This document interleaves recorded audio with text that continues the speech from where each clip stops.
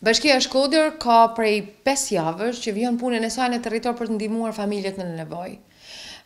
Vështirësitë janë, por nga ana tjetër ne jemi përpjekur që ditë pas dite në territor sipas një radhe prioriteti të ndihmojmë të gjithë ata që janë në ekstremin e nevojës për të ndihmuar për të ushqyer familjet e veta. Kështu deri më tani, në këtë javë të pestë, ne kemi siguruar nga kontributi i administratës në fillim e më pas duke u bashkangjitur me organizata të shoqërisë civile, rreth një mijë e katërqind e katërdhjetë e katër familje. Ndërkohë janë rreth gjashtëqind e tetëmbëdhjetë të tjera që kanë marrë pako higjienike. Një mijë e katërqind e katërdhjetë e katër në këtë moment në të gjithë territorin e Bashkisë së Shkodrës jemi përpjekur që t'i që t'i vehemi në dispozicion me ushqimet bazë. Me shpalljen e fatkeqësisë natyrore, pavarësisht se kjo e vonuar, ne tashmë kemi bërë të mundur përfundimin e procedurave për blerjen me duke përdorur buxhetin e emergjencës civile për pako ushqimore dhe pako higjienike për të gjitha familjet.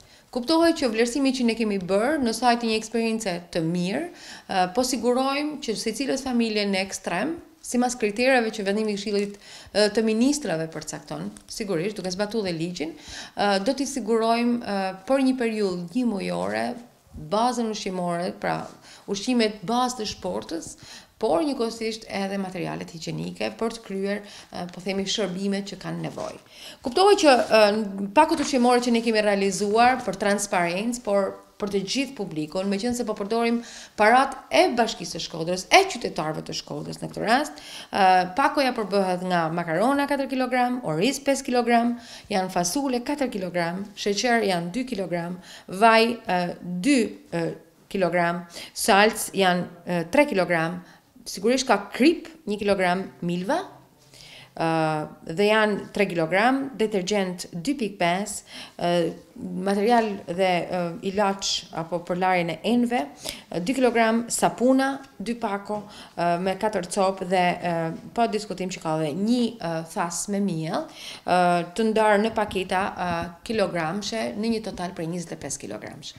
Kjo është ajo paketë që ne kemi realizuar për ta blerë në kohë edhe pa u rritur çmimet, duke siguruar një përdorim me efiçencë të parave që ne përdorim nga qytetarët e Shkodrës. Meqenëse jemi në një situatë goxha të vështirë dhe pritet që të vazhdojë të paktën përballimi, unë shpresoj që me shëndet të jemi të gjithë mirë, e të mos kemi raste të shtuara në Shkodër, e për këtë pa diskutim që kërkohet një vëmendje e madhe e kujdes i gjithsecilit duke u solidarizuar me të gjithë ndihmën që të gjithë përpiqemi që të japim. E mjafton ai qëndrimi në shtëpi për të siguruar atë solidaritetin dhe kujdesin që ne kërkojmë e kontributin e gjithsecilit për ta kaluar pa pasoja. E nga ana tjetër, për të gjitha familjet që kanë nevojë, ne kemi ndjekur një prioritarizim dhe kriter. Na marrin në telefon çdo ditë.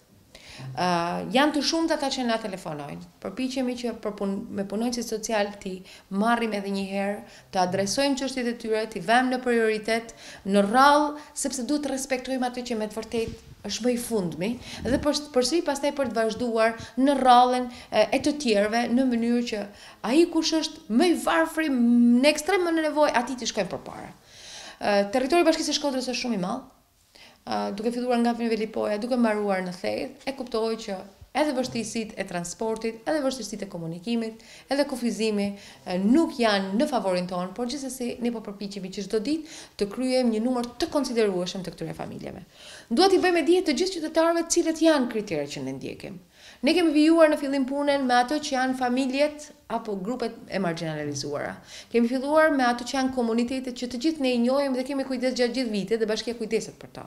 Për ata që ne jetojnë dhe janë pjesë e komunitetit, për komunitetin rom dhe egjiptian. Kemi vijuar duke adresuar nevojat e familjeve më ekstreme dhe kemi vazhduar pastaj me ato familje që janë në kushte të vështira sociale edhe ekonomike që trajtohen gjatë gjithë vitit nga Bashkia Shkodër për shkak të kushteve ekstreme në të cilat jetojnë në varfëri por edhe me probleme të rënda sociale me probleme të dhunës me gra që janë kryefamiljare të vetme dhe kanë fëmijë të sëmurë dhe me radhë duke qenë kjo një numër i konsiderueshëm dhe janë rreth 480 të tilla kemi vijuar më pas me Kriterin tjetër për t'i përzgjedhur ata pensionistë të cilët nuk kanë të ardhura nga e drejta për pension pleqërie. Do të thotë që nuk marrin një pension, nuk marrin asgjë dhe janë të vetëm, që nuk kanë familjarë në moshë aktive pune në familje, familje me kryefamiljarë të moshuar dhe ka familje të tilla që kanë fëmijë nën moshën tetëmbëdhjetë vjeç. Të tjerët janë familje pensionistë me aftësi të kufizuar. të cilët nuk kanë familjarë në moshë aktive pune, e që trajtohen me programin e ndihmës ekonomike. Pra, në kuadrin e të gjithë personave me aftësi ndryshe, janë disa nga ata që janë edhe më në nevojë se të tjerët. Ky ka qenë grupi pa, i grupi tjetër që ne kemi mbështetur e po vazhdojmë ta mbështesim. Familje dhe individë në nevojë, përfitues të ndihmës ekonomike, të cilët nuk kanë asnjë të ardhur tjetër përveç ndihmës ekonomike. Dhe kuptohet, bëhet fjalë për të gjithë ata familje që marrin një minimum ekstremisht minimum, sepse numri është ulur shumë edhe i shifrës së ndihmës ekonomike që në vitin 2017 dhe ne i kemi po përpiqemi që t'i dërgojmë hap pas hapi paketën ushqimore dhe higjienike. Familjet me ndihmë në nevojë përfitues të ndihmës ekonomike të cilët janë mbi pesë anëtarë. Është shumë e rëndësishme kjo për ta theksuar dhe në ndihmë në grupin e ndihmës ekonomike ne kemi shkuar te ata që kanë më shumë anëtarë në familje dhe kanë probleme shumë të mëdha për shkak të numrit të anëtarëve. Jemi përpjekur që të vijojmë me familje që marrin ndihmë nga fondi 6% i ndihmës ekonomike. Edhe ky është një grup tjetër, të cilët ne kemi vendosur në listën e prioritare dhe sipas kriteret e vendimit të Këshillit të Ministrave, është një respektim i normativës ligjore, por njëkohësisht dhe i familjeve në nevojë. Familje në nevojë me shumë anëtarë të tjera, të cilat nuk mund të kenë të ardhura vetëm nga pensionistë për shembull, që kanë në familje, por që janë një numër i madh. Dhe kemi familje të cilat duke qenë një numër i madh, jetojnë me pensionin e gjyshes apo gjyshit. Dhe ndonjëherë prindërit arrijnë të bëjnë ndonjë punë me ditë. Ne jemi përpjekur që t'i verifikojmë, t'i prioritarizojmë dhe në bazë të kërkesave dhe ankesave që na kanë ardhur, jemi përpjekur që t'i vlerësojmë duke i vijuar në radhën të cilës jemi përgjigjur dhe po vazhdojmë t'i përgjigjemi sipas mundësisë që kemi për të furnizuar me ushqime. Unë duhet t'i siguroj të gjithë qytetarët që ne do vazhdojmë ndihmën. Kjo është prioritet i Bashkisë Shkodër. Është një detyrë. Ne i kemi financat për ta bërë këtë tashmë. Duhet të falenderoj të gjitha organizatat shoqërisë civile që na kanë ndihmuar, komunitetet fetare, e, me zemër i falenderoj dhe me emocion.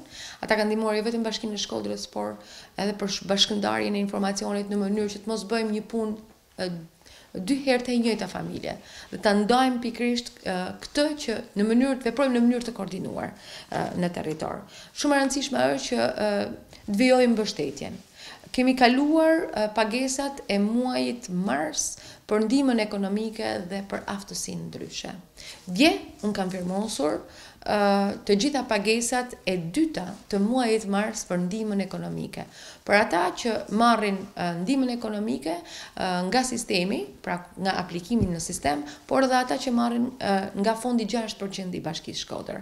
Besoj që në dy ditët në vijim ata do të jenë pranë postave për t'u shpërndarë. Pra, në këtë muaj, në muajin prill, do të kemi një situatë, parashikoj të paktën për familjet në nevojë, disi më të lehtësuar.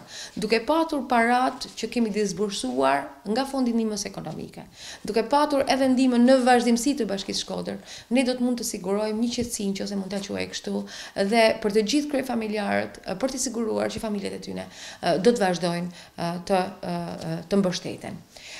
Kam një apel për të gjithë biznesin. Ata ndodhen në një vështirësi shumë të madhe. Ne po përpiqemi dhe jemi përpjekur që të propozojmë lehtësinë fiskale duke propozuar heqjen e taksave dhe tarifave, taksës së ndërtesës dhe tarifave për muajt mars, prill dhe maj. Kjo jo vetëm për biznesin, por edhe për familjarët, ë kudo ku ata ndodhen. Unë propozimin do ta bëj dhe një herë. E shpresoj që kjo të merret në konsideratë, sepse nuk ka mundësi tjetër kur nuk punohet, nuk ka mundësi as që të paguhen taksat. Dhe ne këtë e dimë shumë mirë. Kjo vlen edhe për familjet, sepse kur ata nuk punojnë, nuk kanë mundësi që të paguajnë taksat.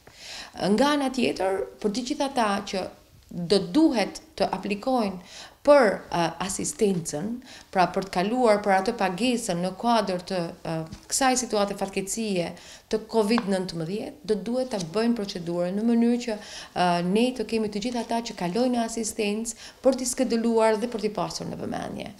Kuptohet pagesa e nga zyra e punës që do të jepet për këta, do të sigurohet dhe ne do të interesohemi në mënyrë që këto pagesa të sigurohen në kohë, duke bërë, po themi, presionin e duhur pozitiv, duhet ta quaj, për të ecur bashkërisht në mënyrë të koordinuar me të gjitha institucionet e për të ndihmuar në mënyrë që gjithsecilës familje të mund ta trajtojë e para në mënyrën e barabartë, por e tjetra e tjetra në mënyrë transparente dhe duke siguruar që ai që me të vërtetë ka nevojë, që shpesh nuk arrin as të sjellë zërin e vet sepse është i pamundur të mund të shkojmë tek ai e pastaj të vazhdojmë në solidaritet me gjithsecilin.